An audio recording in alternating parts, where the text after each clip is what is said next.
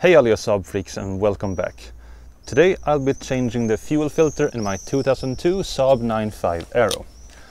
I'm using a Bosch fuel filter, this is the OEM part, part number 0450905200.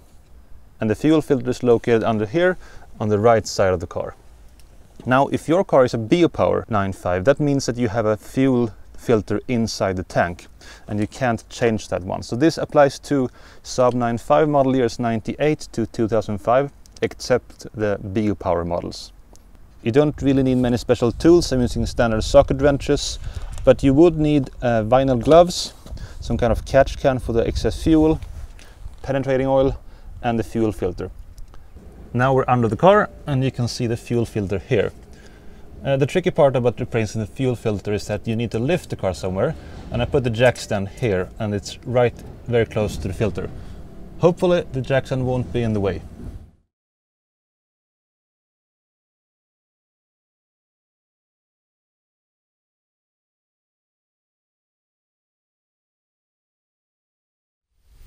So first we need to remove this cable tie that holds the plastic covering. Just gonna use a standard piece of equipment here it off, then try to get the cover down.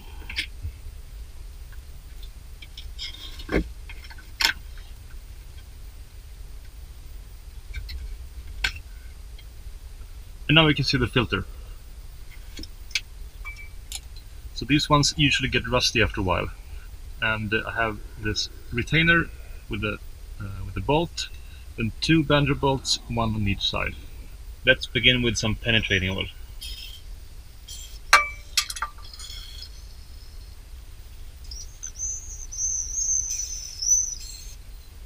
So let the penetrating oil work for about 5 to 10 minutes to make it easy. My filter was replaced just last year, so I'm not expecting any problems getting it off. But I just checked and this is a 10mm, this is a 17mm, this is a 19mm. The rear one though is a bit difficult to get to. I couldn't fit a socket because there's uh, a bit of the chassis in the way, so I had to use one of these normal wrenches.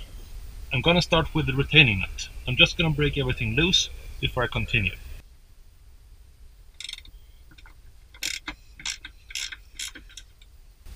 Okay, so that one was loose. Next we have the front banjo bolt. And now the most tricky bolt. It's very hard to get to apparently.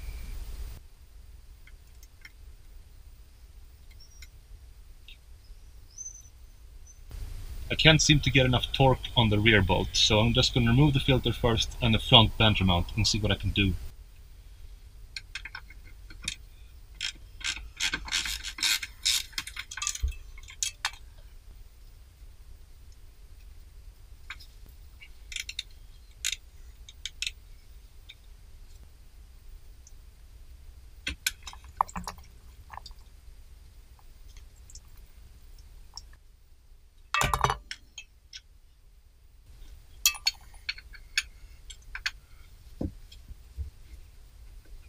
Yeah, so as I said, the rear bolt was very difficult to get off.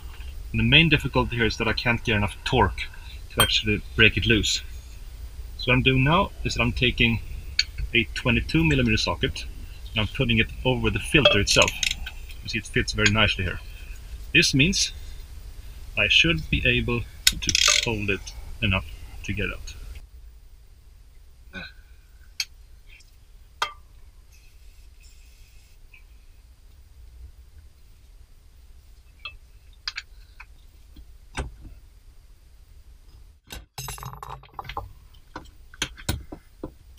That didn't work either, so I'm actually putting back the retainer to hopefully increase my leverage. Right, so with the retainer back in place, my idea is that I can put the socket here and then the retainer will hold it in the other direction.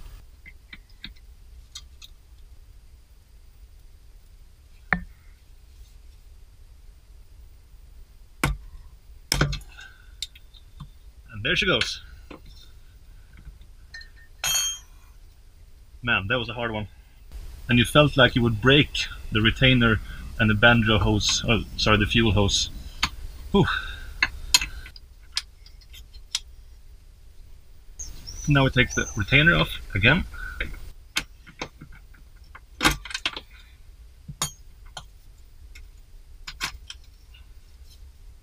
That was way harder than I thought. So the front bolt is really easy to get off, but the rear one really, really was tight. New fuel filter in. Remember, the arrow is supposed to point to the front of the vehicle. I'm doing everything right today, so I'm getting new copper washers. For the front bolt, the smaller one, the diameter is, I think it's 13 millimeters in the diameter on the washers and 18 on the outer. These washers are always so cheap, it's a worthwhile investment to get new ones. Okay, so that bolt is finger tight. And for the rear banjo bolt, we're using washers with inner diameter of 15 millimeters and outer diameter of 20 millimeters.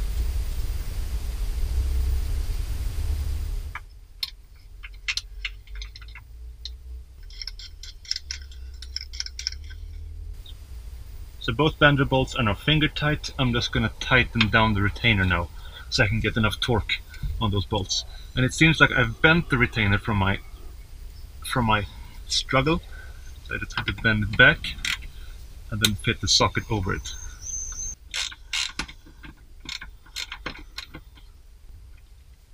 Alright, so let's snug down the rear banjo bolt, 19 millimeters. Then 17 millimeters for the front. And to get enough torque, I'm just going to use both at the same time.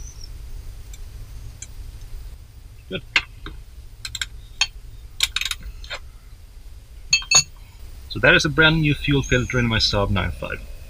Before I put back the plastic cover, I'm actually gonna go ahead and start the engine to see if it works and also make sure there are no leaks. We are finally, finally done. So as you can see, the fuel filter job in itself isn't very complex, though it's it can take a bit of time to just get the old bolts off. So lessons learned. I think it's best to wait with the retainer for the last so you get enough leverage onto the other bolts as possible. But the problem is still that the fuel filter only hangs in this retainer which doesn't keep it clamped down. The filter can actually rotate by itself even though it's clamped down. And you want to protect those fuel hoses that are made out of rubber so you, you don't uh, destroy them while trying to remove that bolt. So the car's been running for a few minutes, I just turned it off and there's no leaks at all. Though as you can see I did manage to get a bit of spillage since that uh, jack stand was in the way of my catch can. But the fuel filter job is done and now I can continue running on E85. The main reason for my changing the fuel filter this quickly again was that I've been running a few uh, tanks worth of E85 and this can actually dissolve a lot of sludge in the tank and uh, risk filling up the old fuel filter. So now I have a fresh fuel filter and hopefully now the, the car will run well even on ethanol. So thank you very much for watching yet another video from Trionic 7, the YouTube channel for Saab enthusiasts. Yes, my car is dirty. Please do fill up the comment section with comments on this. And also, yes, it is rusty and I'm very sad about that. But anyway, have a nice summer and I will see you again soon. Bye bye.